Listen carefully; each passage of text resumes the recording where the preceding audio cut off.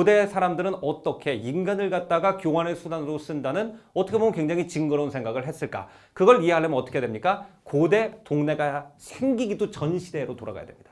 인간이 부족 생활을 하던 시대로 돌아가야 되는데 이 부족 시대 사람들은요 기록을 남기지 않았어요. 아직 글자가 없었습니다.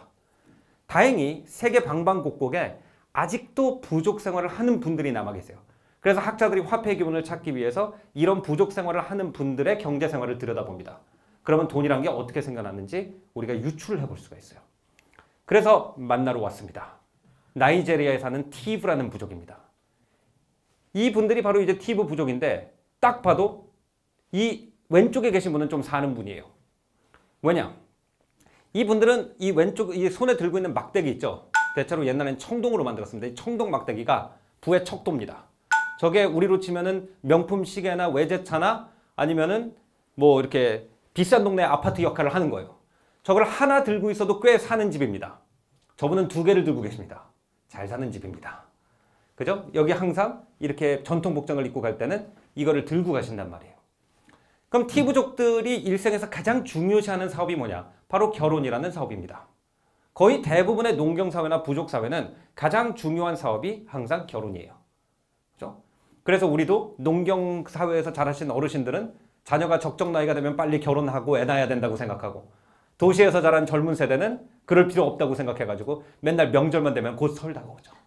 맨날 명절만 나면은 어, 부모님한테 가장 듣기 싫은 질문 너 언제 결혼할 거니 언제 애 낳을 거니 이런 거 가지고 뭐 가족들끼리 싸우고 이러잖아요.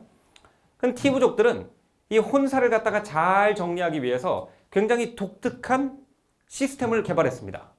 많은 학자들이 이 시스템에서 화폐가 나왔다고 생각하기 때문에 우리가 이걸 한번 자세히 들여다 필요, 들여다볼 필요가 있는데 좀 복잡하기 때문에 제가 이제 도표를 보면 설명을 드릴게요. 자, 세 집이 있어요. 빨간 집, 파란 집, 노란 집이 있습니다.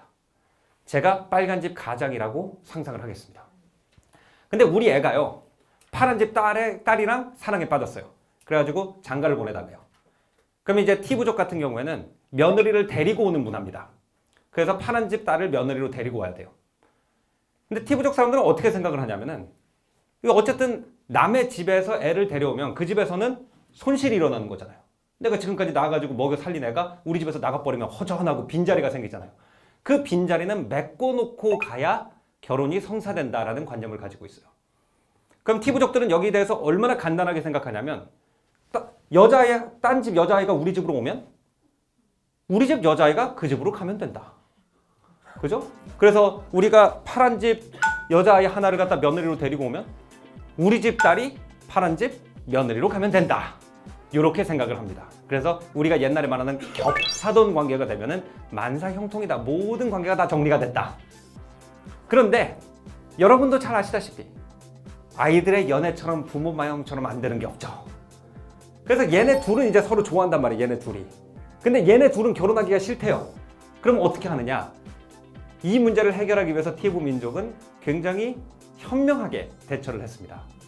일단 이 딸아이는 우리 집 며느리로 들어옵니다.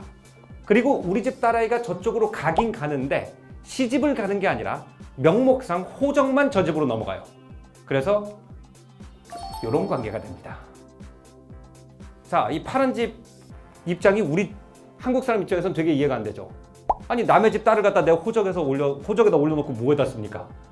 그런데 이 파란 집 아들이 또 노란 집 딸이랑 장가를 들고 싶다. 그러면 호적에 이 아이가 올라가 있는 게 굉장히 중요한 역할을 합니다. 왜냐하면은 노란 집 딸을 데려오려면 우리 집 딸 한 명이 글로 가야 되는데 파란 집이 딸이 없잖아요. 그러면 호적상 아무 딸이나 보내면 돼요. 다시 말하면 우리 딸을 글로 보내면 된다는 거예요. 이제 헷갈리죠. 우리가 누구고 쟤네가 누군지. 자, 그래서 도면에 집중을 하셔야 돼요. 그래서 자, 노란 집 딸이 파란 집 며느리로 들어오면 파란 집은 자기네 호적에 있는 우리 딸을 갖다가 저 집으로 보냅니다. 그래서 이렇게 됩니다. 그런데 얘네 둘이 결혼하면 얼마나 좋아요? 여기서 끝나거든요. 근데 얘네 둘이 싫대요. 이 아들은 우리 첫째 딸은 싫은데 우리 둘째 딸이랑 결혼을 하고 싶대요. 그럼 어떻게 되느냐? 우리 둘, 첫째 딸이 호적이 우리 집으로 다시 넘어오고 우리 둘째 딸이 노란 집으로 갑니다. 그래서 이렇게 정리가 되는 거예요. 머리가 아프죠?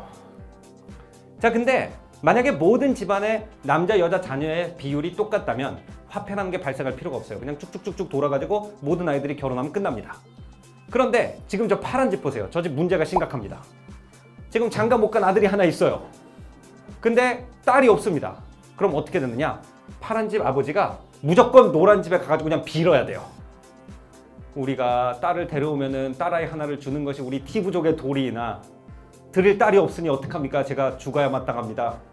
그런데 둘이 너무 좋아한다 그러고 내가 그 딸 물 한 방울 안 묻히게 할 자신이 있으니까 제발 둘 좀 결혼시키면 안 되겠습니까? 그러면서 딸을 데려온 대가로 뭔가를 줘야 됩니다. 그 뭔가가 뭐냐? 아까 말씀드린 대로 부족 생활을 하는 사람들은 사유 재산이 없습니다. 그렇기 때문에 집을 줄 수도 없고 차를 줄 수도 없고 땅을 줄 수도 없어요. 유일하게 이 부족이 자기 거라고 부를 수 있는 건 그 부족 안에서 자기가 가지고 있는 사회적 직위입니다. 그 사회적 직위는 뭘로 상징이 되냐? 아까 뭐라 그랬죠? 지팡이로 상징이 됩니다.